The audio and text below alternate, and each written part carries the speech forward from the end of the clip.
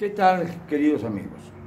Bien, para ser coherente, para ser congruente como siempre, Andrés Manuel López Obrador informó que por fin se va a vacunar.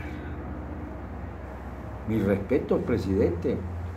Se había usted tardado un poco en definirlo, pero como ya lo conocemos, a lo mejor cambia de parecer en cualquier momento, pero dijo que se va a vacunar allí, o sea, en Palacio Nacional. Privilegios de la presidencia, privilegios del cargo. Está bien, pero había dicho antes que si se vacunaba, que lo haría sin un circo mediático, yendo solo a los centros de vacunación como cualquier adulto mayor y cuando le tocara. Luego dijo que no era necesario vacunarse porque tenía anticuerpos muy sólidos y muy fuertes, según el dictamen del célebre doctor muerte Hugo López Gatell. Y ahora dice que se va a vacunar en Palacio Nacional.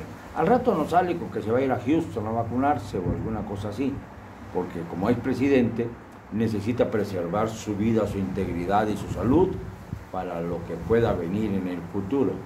Lo que puede venir en el futuro son cambios a la Constitución General de la República, como ya anunció que lo hará, si no pasa su ley energética que fue frenada en el Senado por los senadores de oposición. Y naturalmente, pues entonces estamos a la expectativa de ver qué otras medidas autoritarias está dispuesto a seguir el actual mandatario de la República. Mientras tanto, las campañas siguen con un verdadero desorden. No se sabe en este momento si el Tribunal Electoral del Poder Judicial Federal va a regresar al Instituto Nacional Electoral los casos escandalosos de Félix Salgado y de Raúl Morón, candidatos a gobernadores en Guerrero y Michoacán respectivamente, entre otras cosas porque lamentablemente, según dice el Tribunal Electoral, pide al INE que revise los casos de nuevo porque eh, puede ser que se encuentre una sanción más adecuada, pero subraya que eh, el retiro del registro de las candidaturas puede seguir operando. Es una rebatiña terrible para ver quién se hace responsable ante el supremo hacedor del país, el presidente de la República. Mientras tanto, en Chihuahua sigue el dislate del traidor gobernador Javier Corral Jurado, que ha querido entregar su entidad a Morena, porque no soporta a Maru Campos, la candidata de su partido, y le ha inventado cualquier cúmulo de barbaridades moches, según dice, que le daba César Duarte cuando era diputada.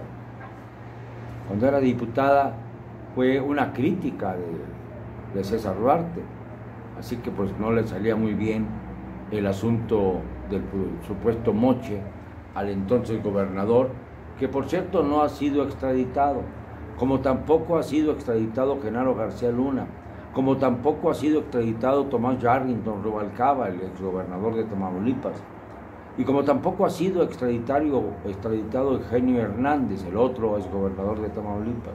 Ahí andan por ahí, buscando la manera de que se les haga juicio en los Estados Unidos, quizá porque no confían en las autoridades mexicanas, ellos que fueron autoridades en México. Claro, en este momento, con el dominio absoluto del poder que tiene el presidente López Obrador, excepto en lo que se refiere a las presiones de los militares que están cada vez ganando más fuerza y territorio frente a una cuarta transformación que no da frutos y que se empeña en mantener sus canonjías a costa de la desvergüenza general el presidente decide, ordena y manda y quiere entrometerse en las elecciones. Este es un mal presagio para México. Es necesario ya pensar en la posibilidad de solicitar a las organizaciones no gubernamentales del exterior que se abocan a la observación electoral en diversos países en crisis para que vengan, que vengan con su representación para certificar hasta dónde llega la legalidad del proceso electoral que está ensuciando, manchando el presidente de la República con su constante intervención. Lo de su compadrito Félix Salgado lo ha sacado de quicio. Lo ha molestado tanto que ha amenazado a través de sus huestes morenistas con llevar a juicio político a los consejeros electorales del INE por aplicar la ley y aplicar una sanción que está debidamente reglamentada, precisamente como una de las normas electorales fundamentales para darle aliento a los procesos. Pero el presidente no lo entiende. Como bien dijo el exministro eh, que Cosío, dijo que el problema del presidente López Obrador es que no entiende cómo funciona el Estado de Derecho. Y si no entiende cómo funciona el Estado de Derecho, no puede asegurar que va a respetar como hizo cuando juró el primero de diciembre de 2018 la Constitución y las leyes que de ella emanan si ya le estorba la Constitución. Le estorba la Constitución porque ahí hay ciertos límites a su tarea de implicar a quienes no son afines a él todos los males de México. Hoy, por ejemplo, en la mañanera, me refiero al viernes 9 de abril, el presidente ya le dio por criticar, cuestionar, perseguir, insultar, ofender al periódico Norte Reforma, Norte de Monterrey, Reforma en la Ciudad de México. Ahora los aprieta con el cogote porque no han sido recipiendarios de la cuarta transformación, sino críticos, cuestionadores. Y cada vez que el presidente los agrede, pues estos periódicos también contestan y replican, porque tienen derecho a defender su crítica independientemente de lo que nos parezca, es su derecho. Así funciona la libertad de expresión, así funciona el Estado de Derecho. Si el otro día fue la andanada contra un periodista que le molesta tanto al presidente que le quema los pies, ahora resulta que es contra un periódico al que ya ha acusado infinidad de ocasiones. Lo repito, lo más importante en el país en este momento es fustigar a los periodistas críticos y exaltar a los que se parecen tanto a Andrés Manuel, a los que le son tan afines que parecen espejos del mismo. Caso concreto, el muy célebre Lord Molécula.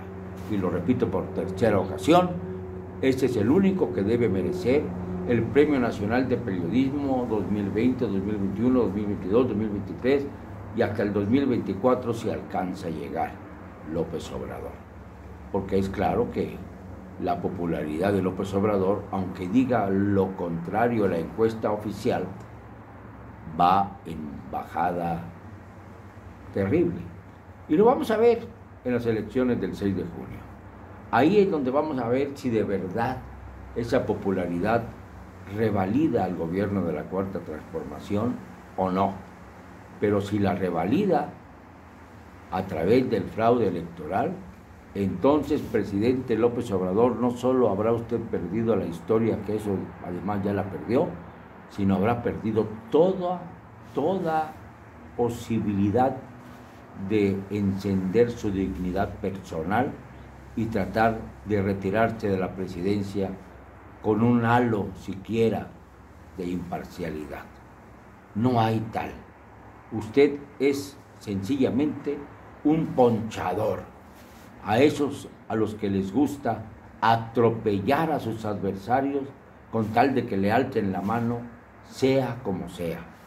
Y lógicamente, pues las mañaneras han sido uno de los montajes cotidianos más vergonzosos de la historia de este país.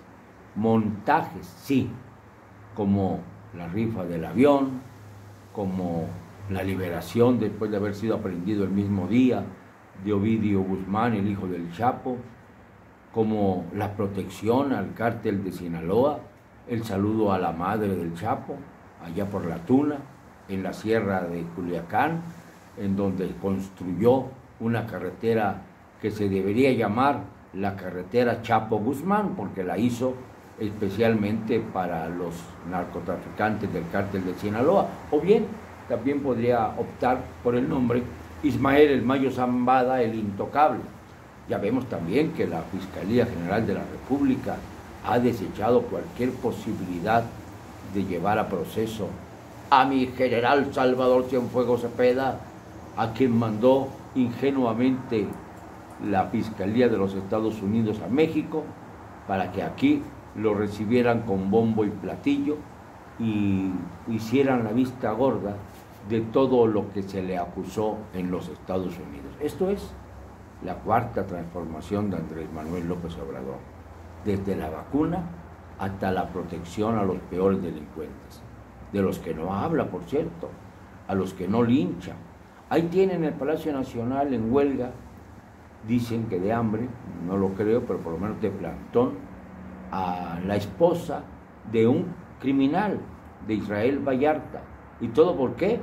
Porque es la manera de rebotar la pelotita en este juego de ping-pong para tratar de ensuciar a los periodistas que cubrieron, no fue solo uno, la nota acerca de la recaptura de Florence Cassés y de Israel Vallarta como parte de una escenografía montada por Genaro García Luna y avalada por los jueces que le dieron formal prisión a estos personajes, aunque no se haya dictado sentencia en el caso de Israel, precisamente como parte del circo.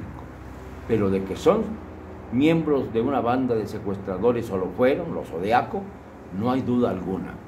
Pero el presidente abraza a los criminales y golpea a los periodistas. Es su tónica, es su importante misión, golpear a, lo que a los que los cuestionan y abrazar a los que han formado parte de la delincuencia organizada. Este es el gobierno que nos está legando López Obrador cuando ya va para el segundo año y medio de labores, bueno, de gobierno, porque después de las mañaneras, ¿quién sabe qué hace el presidente? Salvo cuando está de gira y tiene que estar a la vista. Una vez que termina la mañanera en Palacio, el hombre se pierde en aquellos grandes, grandes salones virreinales del Palacio Nacional para disfrutar de sus magníficas lámparas, tibores, ventanales, mesas, escritorios de caoba y maravillas que fueron quedándose en Palacio desde la época de los grandes virreyes de este país. Bueno, mientras no sirva a la reina Isabel que se ha quedado viuda, menos mal. Mientras no sirva a los Borbones, menos mal. Mientras no sirva a los dictadores del continente, pero esto ya no sé si es mentira o verdad, pero hay nexos inconfesables también entre la mafia de mandatarios que parecen querer construir a partir de la democracia dictaduras banales y verdaderamente inocuas y pueriles. Lo siento, no me van a callar y lo digo y siempre con cero cobardía.